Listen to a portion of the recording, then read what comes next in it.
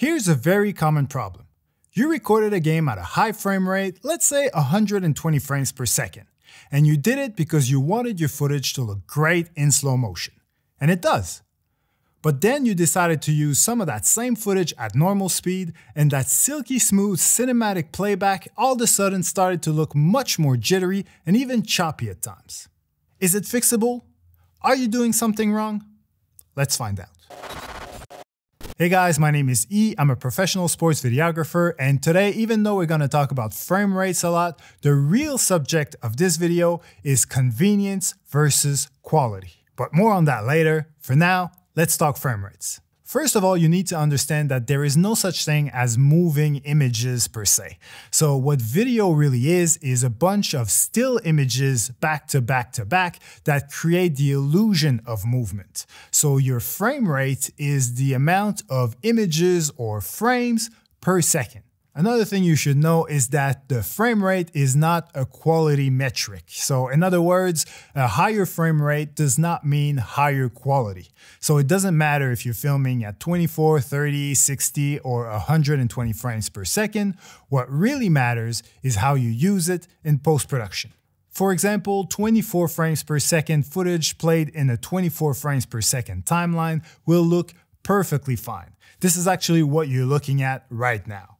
And if my video was shot in 30 frames per second and edited in a 30 frames per second timeline, the quality would be just as good and same goes for 60 frames per second footage in a 60 frames per second timeline. The only difference is that a video shot and exported at a lower frame rate like 24 is much more cinematic looking, while a video shot and exported at a higher frame rate like 60 is gonna look much more vivid and lifelike. But again, that's not a difference in quality, that's just a different look and style, which I wish I could show you like a side-by-side -side comparison, but unfortunately, you can't export a video in different frame rates. So when you're filming a game with the intent of slowing down your footage in post, you typically film at a higher frame rate like 60 or 120 frames per second, and then you use that footage in a 24 or 30 frames per second timeline, which allows you to slow it down without losing any quality. For example, in a 30 frames per second timeline, if you slow down your 60 frames per second footage to 50% of its original speed, your clip will now be twice as long and will display 30 frames per second instead of 60, which in a 30 frames per second timeline will look perfectly smooth. And the same thing will happen to 120 frames per second footage played at 25% of its original speed in a 30 frames per second timeline because 30 is one fourth or 25% of 120. But if you decide to play that same 60 or 120 frames per second footage at full speed in your 30 frames per second timeline, that's when things start looking a little bit weird. What happens is that the timeline literally skips frames. So for example, if you have 60 frames per second footage in a 30 frames per second timeline at full speed, the timeline will skip every second frame.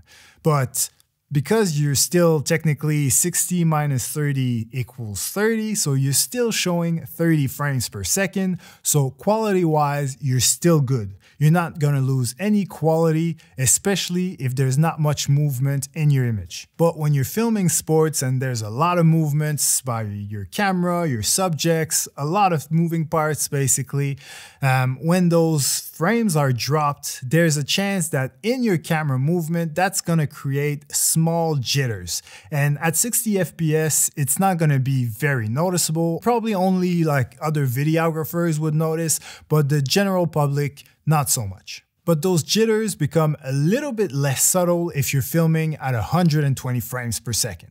Because now to fit in a 30 frames per second sequence at full speed, you're dropping 90 frames every second.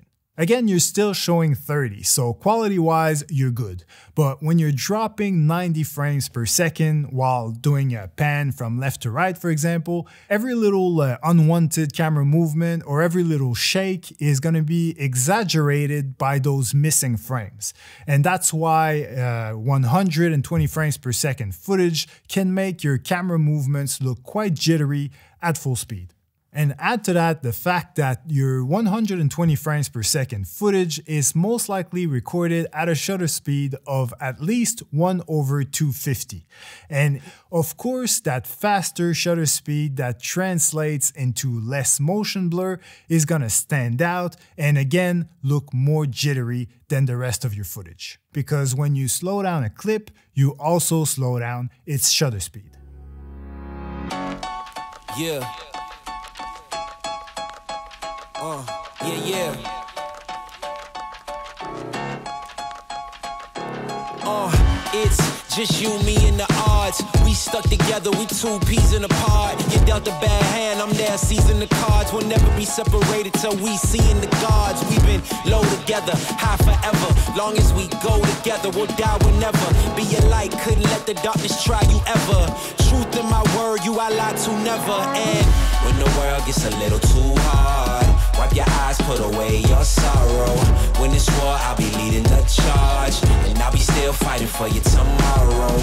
So, I'm guessing at this point that the big question on your mind is Is it really that bad? And if so, what can I do about it? But the question you should really ask yourself instead is As a sports videographer, should I prioritize convenience or quality?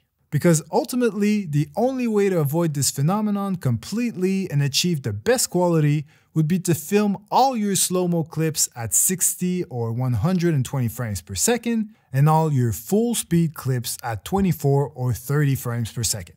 But that's impossible to do when filming run and gun, especially at a sporting event where everything happens so fast and there's no way for you to know in advance which clips you're gonna use in slow-mo or in full speed. So, in my opinion, you have to go with convenience and film all your action footage at either 60 or 120 frames per second. Obviously, try to be as stable as you can and don't be afraid to use a monopod or a tripod if you need to, but at the same time, accept the fact that we will see some jitter in your full speed camera movements and that this is the very small price to pay for amazingly smooth super slow-mos and highly dynamic speed ramping effects. Yeah, even with a blindfold or in different time zones, could find my way to you with my eyes closed. There's nothing between us. Go to Mars or Venus, stand in front of every one of them rocks they slinging and be a shield. Your shield Yeah.